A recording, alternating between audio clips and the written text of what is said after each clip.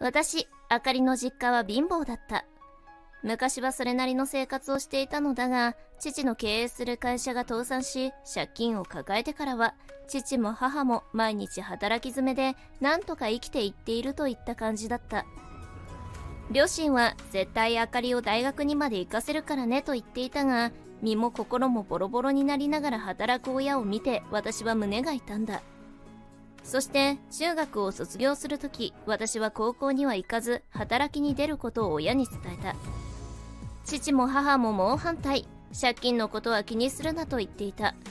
でも私は家族が幸せであることの方が大事だと思った。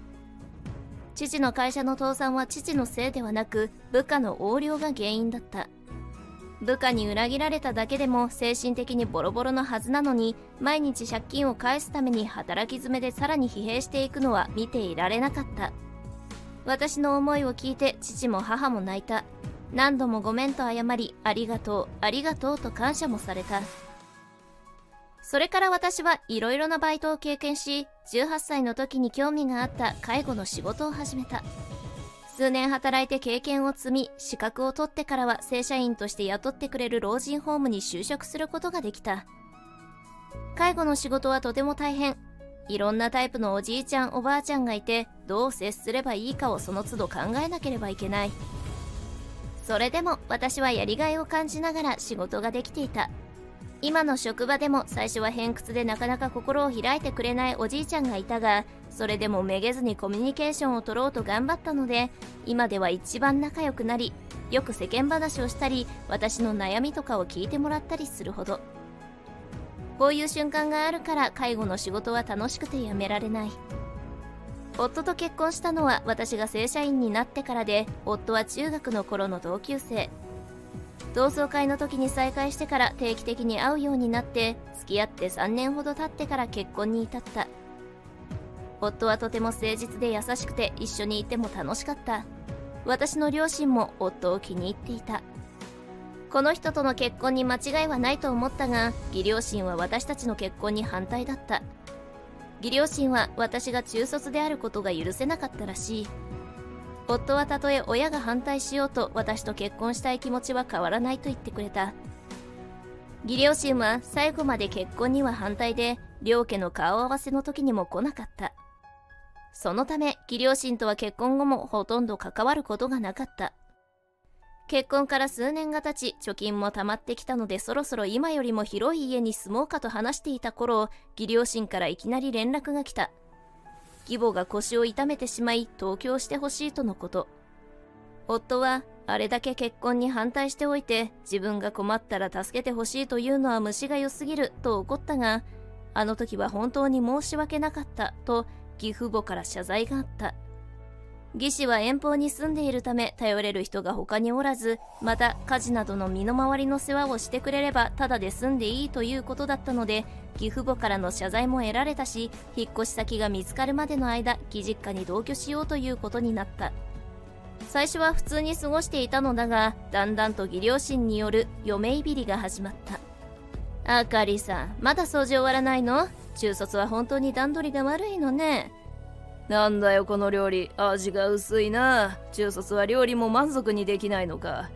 すみません。なるべく薄味の方が体にいいかと思って。お父さん血圧が高いと聞いていたので。そういう無駄な気遣いは頭の悪いやつはしなくていい。俺が薄味と頼んだ時だけそうすればいいんだ。こんな感じで私が何をしても義父母はあらを探しては文句をつけてきた最後の方は名前ではなく「おい中卒」と呼んできたことさえあった。私は夫に負担をかけまいと何も言わず我慢していたが半年ほどで限界が来た。夫に嫁いびりを受けていることを話すと大激怒。すぐに義両親に家を出ていく。親子の縁も切らせてもらうと言って引っ越し先は伝えずに私たちは義実家を離れた。その後以前から目をつけていた部屋に引っ越した。今までよりも広い部屋で義父母のいびりもない。半年間溜まったストレスが少しずつ癒されていき私たち夫婦はとても幸せな時間を過ごしていた。夫は両親の電話を着信拒否し LINE もブロックして完全に縁を切っていた。そんな中ある日私がいつものように老人ホームで仕事をしているとなぜか岐阜の姿があったおお父さん？ああかりさん。どうしてここに？仕事の用事で来たんだよ。俺は今度部長になることが決まったんだ。それでここに入居している会長とやらに挨拶しに来たんだ。それにしても君が働いている介護施設がここだったとはな。高級老人ホームというからどんなものかと思ったが建物だけは立派でも中卒の君を雇うぐらいだから大したことはないんだな。またそうやって私は思わず反論してしまった。岐阜はそのことが尺に触ったのか一目もはばからずに私を罵倒しだした。またまたとは何だ？中卒という事実を言って何が悪い？息子もバカな女に騙されたもんだ。あんたみたいなやつに騙されずにもっと聡明な女性と結婚していたら私たちとの同居生活だってうまくいっただろう。息子を返せ中卒女が。私はその場で泣きそうになったするとそのやりとりを聞いていたのか私が一番仲のいいおじいちゃんが私の味方をしてくれた。ちょっとあんた言い過ぎじゃないか。あ誰ですかあなたは？た高橋さん。私はここの老人ホームに暮らしているものだ。あかりさんは私の大事な友人でもある。これ以上あかりさんの悪口を言うのはやめてくれないか。はあさすが中卒だな。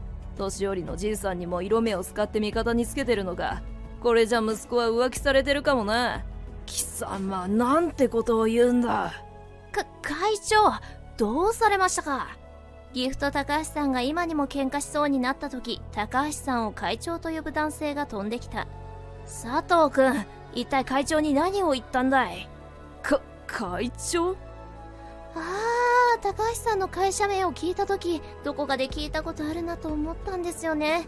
お父さんが働いている会社だみるみるうちに顔が青ざめていく岐阜。なるほど。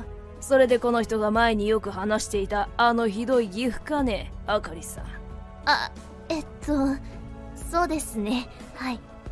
専務そこの佐藤君を連れて私の部屋に来なさい。ははい。それからそーっと高橋さんの個室を覗くと高橋さんが思いっきり怒鳴っていました。専務このように人格に問題のある者を部長に推薦するとはどういうことだ？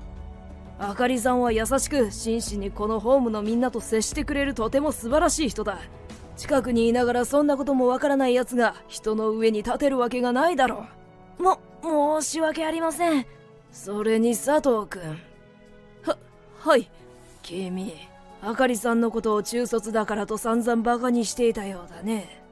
そそれはということは君は同じ中卒である私のこともバカにしているということでいいな。えそそんなめっそうもございません。言い訳は聞かぬ。専務分かってるだろうな。ははい。部長はまた選出し直します。岐阜は今にも倒れそうになっていた。部屋を出た後岐阜はロビーにて今度は専務に怒鳴られていた。なんてことをしてくれたんだ君は私の顔に泥を塗るつもりか？申し訳ありません。今回のことは社長にも報告させてもらう。しかるべき処分が下されると心しろよ。そそんな。後日高橋さんから聞いたのだが岐阜の部長への昇進は取り消されそれどころか仕事が全くないいわゆる窓際族の部署に異動になったとのことやっぱり人を悪く言ったり横柄な態度をとっていると巡り巡って全て自分に返ってくるんですね。また旦那が義士から聞いた話だと今回の昇進がなくなったことで義父母の夫婦仲は最悪になったらしい。しかし義母は今まで働いたことがなくまた腰も悪い状態で独り身になる勇気が出ず義父の収入を頼るしかなく義父は義父で家事が全くできないため義母に頼りっきりで結局お互いを嫌い合ったまま仮面夫婦を続けているんだとか。